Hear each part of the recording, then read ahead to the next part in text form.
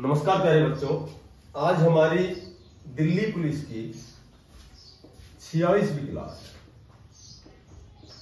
Delhi police की छियालीसवीं class mathematics का टॉपिक है हमारा एलिगेशन।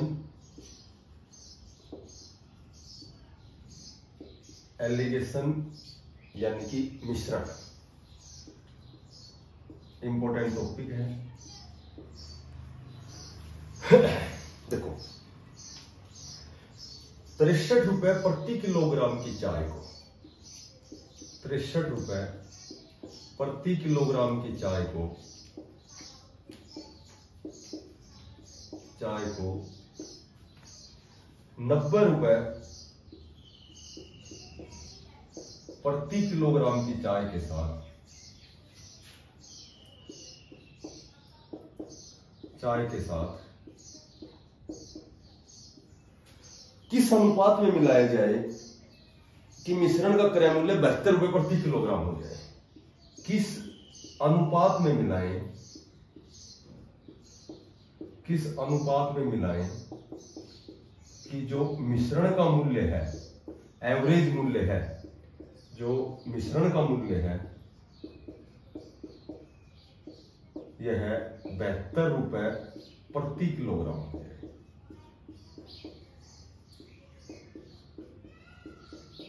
बहत्तर रुपए प्रति किलोग्राम देखो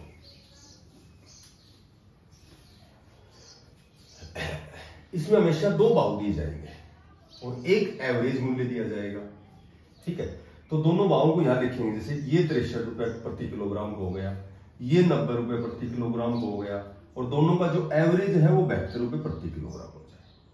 अब एक ही काम करना है, जो एवरेज मूल्य है, औसत मूल्य है, यहाँ लिखेंगे, ये सस्ता भाव हो गया, ये महँगा भाव हो गया।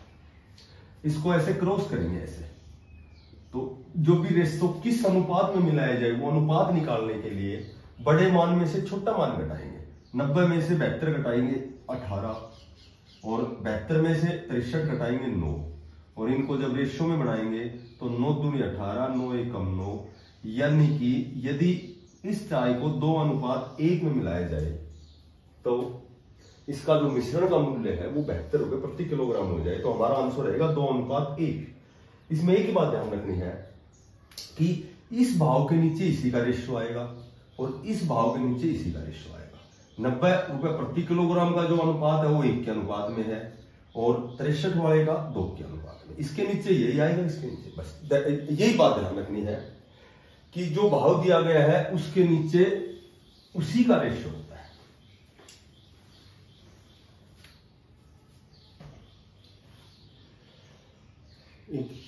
इस तरह का क्वेश्चन आए कि एक व्यापारी के पास 210 किलोग्राम चीनी थी। कुल जो चीनी थी, कुल चीनी थी, वो 210 किलोग्राम थी। टोटल चीनी 210 किलोग्राम चीनी थी। अब क्या किया इस दुकानदार ने कि कुछ चीनी को उसने आठ परसेंट लाभ पर बेचा, कुछ चीनी को उसने आठ परसेंट लाभ पर बेचा और जो शेष चीनी थी, उसको पंद्रह परसेंट लाभ पर बेचा अब जब इसने हिसाब लगाया तो पूरी चीनी पर उसे औसत के रूप में ग्यारह परसेंट लाभ प्राप्त हुआ। औसत के रूप में इसको ग्यारह परसेंट लाभ हुआ। क्वेश्चन है, एक व्यापारी के पास 210 किलोग्राम चीनी थी। कुछ चीनी को उसने 8 परसेंट लाभ पर बेचा, शेष को 15 परसेंट लाभ पर बेचा। पूरी चीनी पर उसे 11 परसेंट लाभ हुआ हो। तो बताओ कि 8 परसेंट लाभ पर उसने कितनी चीनी बेची? 8 परसेंट लाभ पर उसने कितनी चीनी बेची? अब मोटी बात यह है कि वो यहाँ क्रॉस करेंगे ऐसे ऐसे क्रॉस करेंगे। पंद्रह में से ग्यारह घटाएँगे चार और ग्यारह में से आठ घटाएँगे तीन। यह अनुपात आ गया। आठ परसेंट लाभ का अनुपात चार के अनुपात में आया है। पंद्रह परसेंट लाभ तीन के अनुपात में आया है। अब टोटल डिवाइड करनी है 210 किलोग्राम इनका जो अनुपाती योग आ गया, वो आ गया चार और तीन, सात। आठ परसेंट लाभ का यदि पूछे कितनी मात्रा, कितनी चीनी उसने बेची तो आठ परसेंट का जो रेशियो है वो चार में है। चार बटे सात गुना दो सौ दस। सात या इक्कीस, यानी कि उसने 120 किलोग्राम जो चीनी है, वो तो बेची है आठ परसेंट लाभ पर। और 210 में से 120 बेच दी तो बाकी जो बच गई, वो 15 परसेंट लाभ कितनी बच गई? 90 किलोग्राम फिर सुनो। 210 किलोग्राम चीनी को, कुछ चीनी को 8 परसेंट लाभ पर बेचा, कुछ को 15 परसेंट लाभ पर। पूरी चीनी पर उसे एवरेज जो लाभ हुआ, वो 11 परसेंट हुआ। तो हमेशा दोनों भाव दोनों लाभ या दोनों भाव यहाँ लिखेंगे एवरेज यहाँ लिखेंगे। अधिक में से कम घटाएँगे। और ये जो एवरेज होता है, एक से बड़ा होता है, एक से छोटा होता है। ये रेशो इसके नीचे, इसका रेशो आएगा इसके नीचे, इसको। और वो जो साझा पत्ती का टॉपिक है, उसका कंडीशन में इसको हम डिवाइड कर देंगे।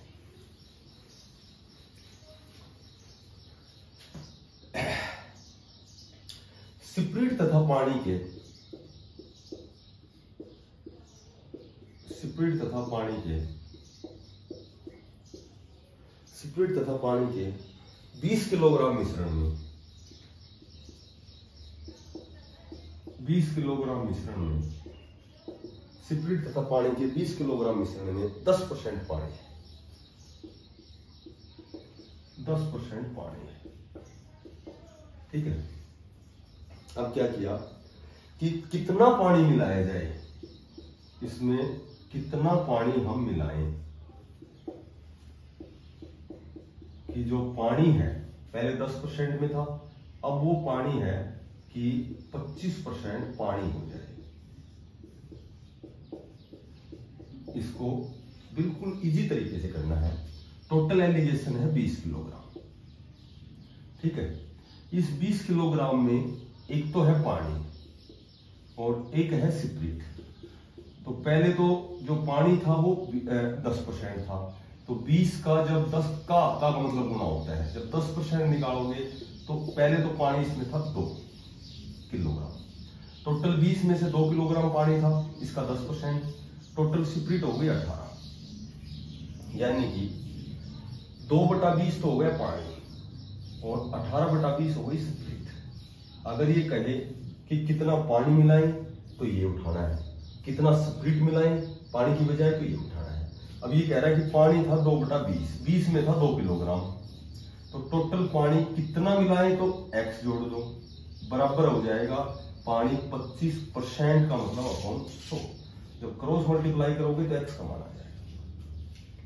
पच्चीस चौका सौ, चार को दो से करेंगे चार दुनिया आठ। क्रॉस मल्टीप्लाई चार को एक्स से करेंगे चार एक्स बीस को एक से करेंगे बीस एक्स को एक से करेंगे एक्स ये एक्स इधर आएगा तीन एक्स ये आठ इधर जाएगा बारह, बीस में से आठ घटाएँगे। यानी कि चार किलोग्राम पानी यदि और मिलाते हैं तो पानी दस परसेंट की बजाय और पच्चीस परसेंट हो जाएगा। ये कहेंगे कितनी स्प्रिट मिलाएँ तो यहाँ अठारह बटा बीस में एक्स एक्स जोड़ के बराबर जो भी परसेंटेज दे रखे वो लिखे।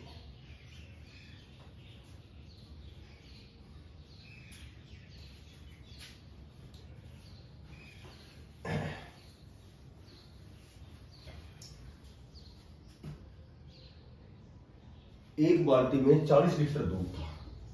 कोई बाल्टी है, इस बाल्टी में 40 लीटर दूध। अब ये क्या कहता है कि इसमें चार लीटर दूध निकालकर, इसमें से चार लीटर दूध निकालकर, चार लीटर दूध निकालकर और इतना ही पानी डाल दिया गया। चार लीटर दूध निकाला और इतना ही पानी डाल दिया गया। अब ये कहता है कि यह क्रिया यह क्रिया दो बार और दोहराई गई।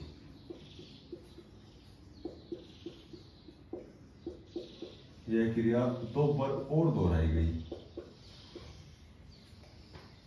तो बताओ, बाल्टी में, अंत में कितना दूध था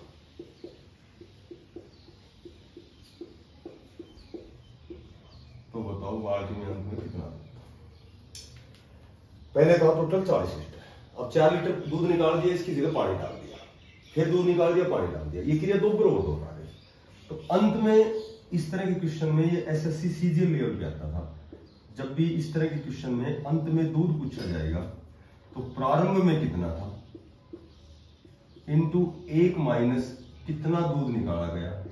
निकाला गया दूध अपॉन प्रारंभ में दूध और इसकी पावर एन प्रारंभ में 40 लीटर दूध था। एक में से चार निकाल दिया और क्रिया हो गई तीन बार। एन की जगह। कितनी बार ये क्रिया हुई है?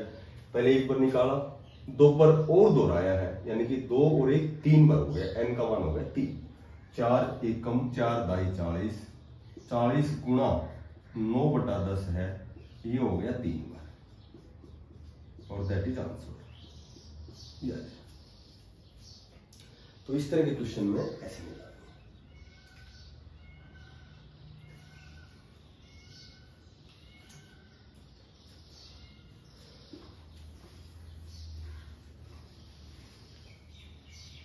एक बाल्टी में चालीस लीटर दूध था। एक बाल्टी में चालीस लीटर दूध था। ठीक है? ये कोई बाल्टी है? इस बाल्टी में चालीस लीटर दूध था जिसका क्रय मूल्य चौदह रुपए प्रति लीटर है। जिसका जो क्रय मूल्य है, ये चौदह रुपए प्रति लीटर है। चौदह रुपए प्रति लीटर है दूध का। अच्छा इसमें कितना पानी मिलाया जाए? इसमें पानी कितना मिलाएँ?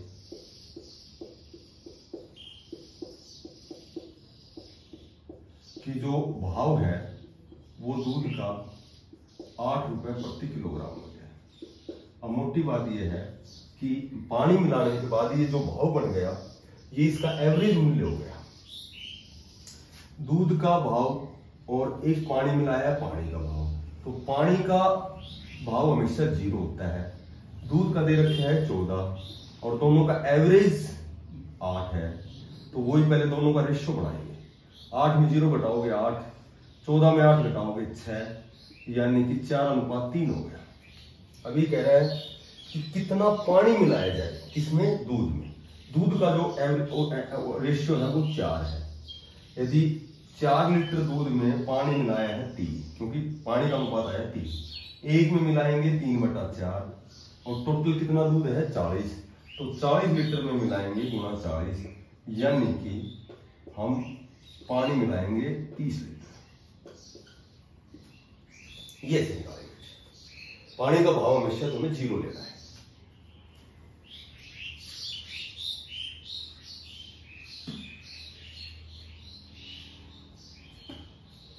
पानी का भाव लेना है ज़ीरो।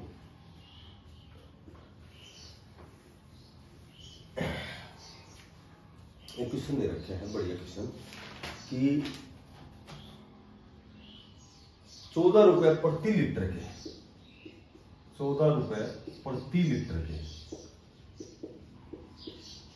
चौदह रुपए प्रति लीटर के। उनहत्तर लीटर दूध में।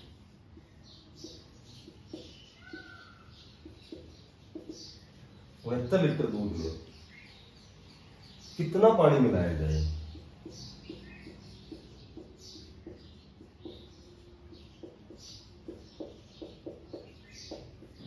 कितना पानी मिलाया जाए?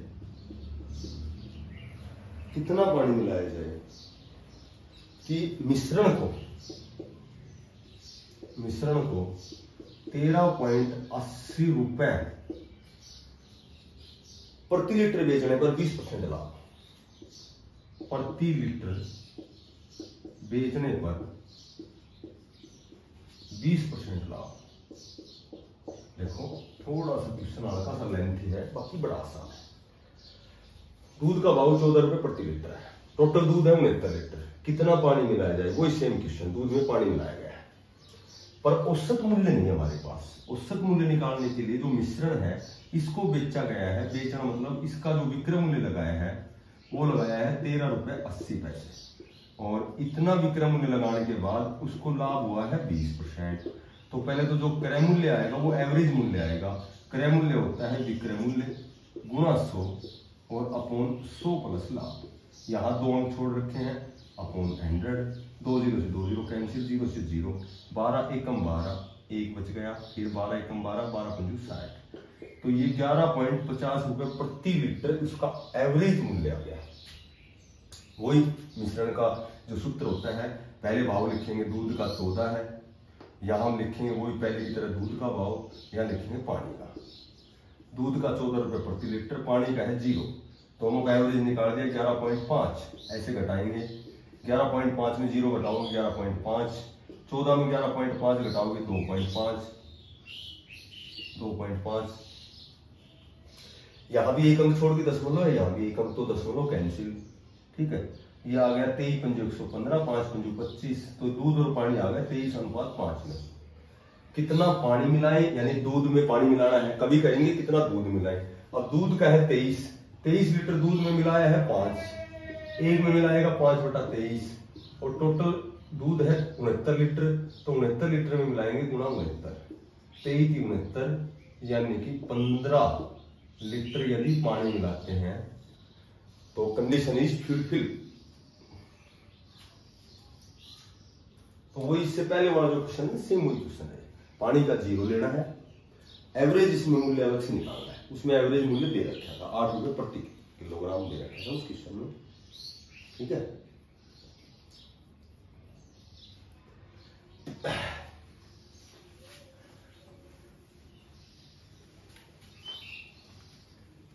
एक क्वेश्चन दे रखे हैं। दो बर्तन है। दो बर्तनों ए और बी में।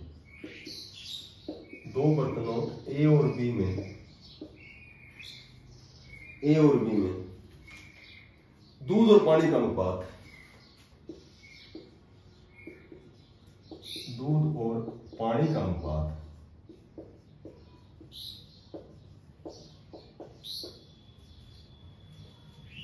दूध और पानी का अनुपात। सात अनुपात दो और पाँच अनुपात तीन है। दूध और पानी सात अनुपात दो और पाँच अनुपात तीन है। दोनों मिश्रणों को, ये दो मिश्रण है, दोनों मिश्रणों को किस अनुपात में मिलाएँ? दोनों मिश्रणों को किस अनुपात में मिलाएँ? किस अनुपात में मिलाएँ? कि नए बर्तन सी है, एक नया बर्तन है, नया बर्तन सी है। जो दूध और पानी का अनुपात है, दूध और पानी का अनुपात है, ये नौ अनुपात चार हो गया देखो, बिल्कुल इजी सा क्वेश्चन है। केवल एक ही बात ध्यान रखनी है कि दूध और पानी का अनुपात है, ये बर्तन ए हो गया, ये बर्तन बी हो गया। और ये बर्तन सी हो गया।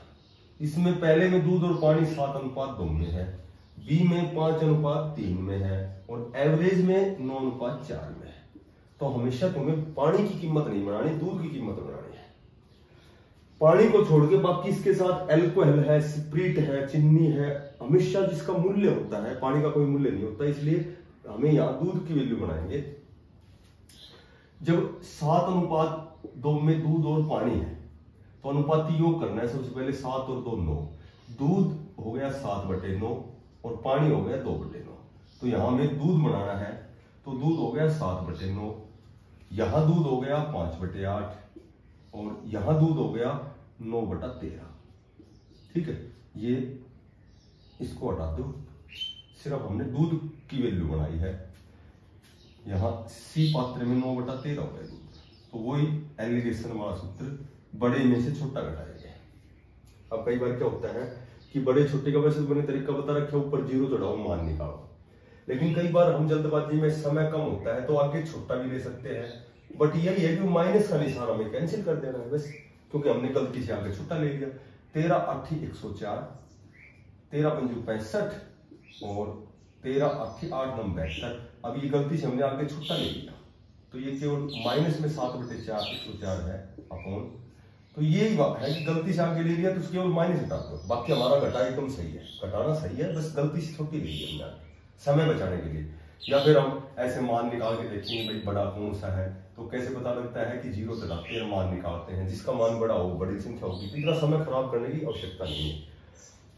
हमने इन दोनों में से, इसमें से ये घटाया तो हमारे पास आया सात बटे एक सौ चार अनुपात।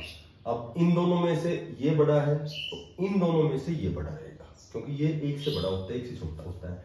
तो सात बटे नौ में से नौ बटा तेरह घटाएँगे। तेरह नंबर एक सौ सत्रह, तेरह सात इक्यानवे और नौ नौ इक्यासी, यानी कि ये आ गया दस बटा एक सौ सत्रह। तो जब भी ऐसे सोल्व करना पड़ता है ना हमें, सात बटा एक सौ चार और अपोन अनुपात दस बटा एक सौ सत्रह। तो सीधी सी बात है, या तो एल्शियम लेके सोल्व करते हैं, या अनुपात का मतलब मैंने बताया था, अपोन होता है।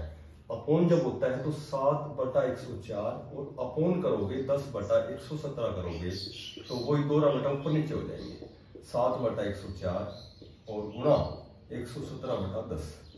तेरह नंबर एक सौ सत्रह, तेरह आठ एक सौ चार, ऊपर आ गए नौ आठ सत्ती तिरसठ, और दस आठ अस्सी तो इसको हम लिखेंगे, आंसर देंगे ऑप्शन मिलेगा हमें तिरसठ अनुपात अस्सी। अपोन को अनुपात में लिख सकते हैं? या फिर इसका एल्शियम लिख के, अनुपात का एल्शियम कैंसिल हो जाता है। वही आएगा त्रिशक अनुपात अस्सी आएगा। ये समय ज़्यादा लगेगा और ऐसे करने से समय कम लगेगा। तो जब ये इसको सोल्व करना हो तो दोरा बटा हो जाते हैं और दोरा बटा होते ही ऐसे काट के छोड़ कई बार यहाँ ऐसा भी आता है कि ए में दूध और पानी ये है, बी में ये है, और एक इसको किस अनुपात में मिलाएँ कि नया बर्तन सी में यहाँ लिखेंगे कि आधा दूध हो और आधा पानी हो, आधा दूध हो और आधा पानी हो। तो यहाँ कंफ्यूज मत होना। इसका मतलब ये होता है कि दूध और पानी एक अनुपात एक में है। दूध भी एक में है, पानी आधा दूध आधा पानी का मतलब ये होता है। तो यहाँ दूध एक बटा दो बनाएँगे अनुपाती हो एक और एक दो तो दूध एक बटा दो बनाएँगे जैसे हमने यहाँ बनाया था ना, सात नौ बटा तेरह बनाया था। नौ चार, तेरह जोड़ के। यहाँ एक और एक जोड़ेंगे तो दो आएगा। तो यहाँ आधा दूध, आधा पानी भी कंडीशन यही रहेगी क्वेश्चन निकालने की। लेकिन यहाँ आधा दूध, आधा पानी का मतलब एक अनुपात एक लेना है तुम्हें। ये क्वेश्चन भी एक बार सीजीएल में आया हुआ है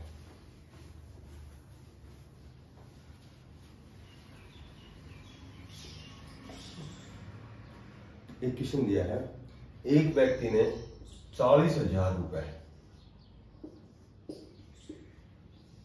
चालीस हज़ार रुपए ब्याज पर उधार दिए। ब्याज पर उधार दिए। चालीस हज़ार रुपए ब्याज पर उधार दिए। अभी कहता है कि कुछ रुपए कुछ रुपए तो उसने दिए आठ परसेंट। ब्याज पर। और शेष जो राशि थी, उसको इसने दे दिया छह परसेंट ब्याज पर। कुछ को आठ परसेंट ब्याज पर और शेष को दे दिया छह परसेंट ब्याज पर। और यदि डेढ़ वर्ष बाद, अब क्या हुआ कि डेढ़ वर्ष बाद उसे उनतालीस सौ साठ रुपए मिले।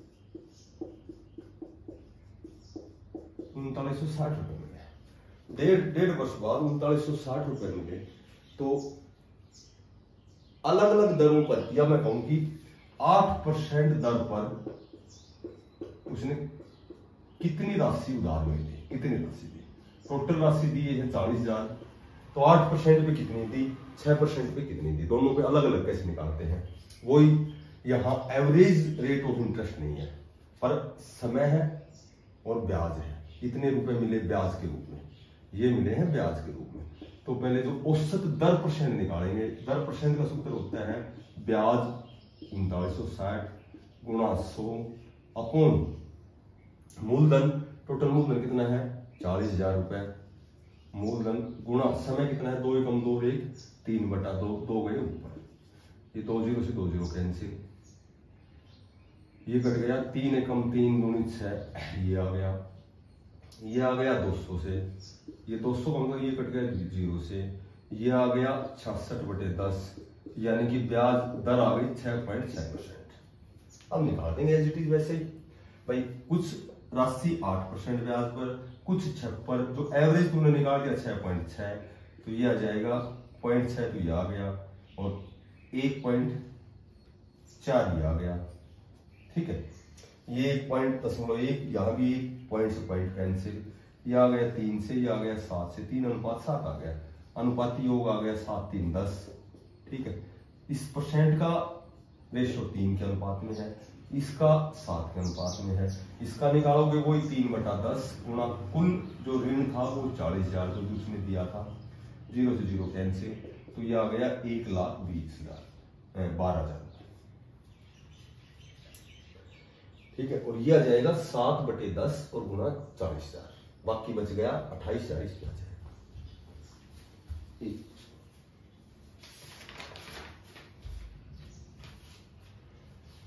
एक लास्ट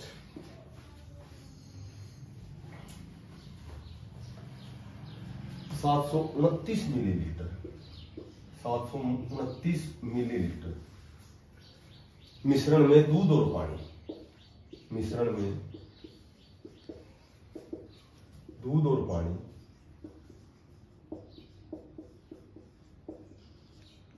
दूध और पानी है, वो सात अनुपात दो के अनुपात में है। सात अनुपात दो के अनुपात में है। कितना पानी डाला जाए, पानी कितना डाले, पानी कितना डाला जाए, कितना पानी डाला जाए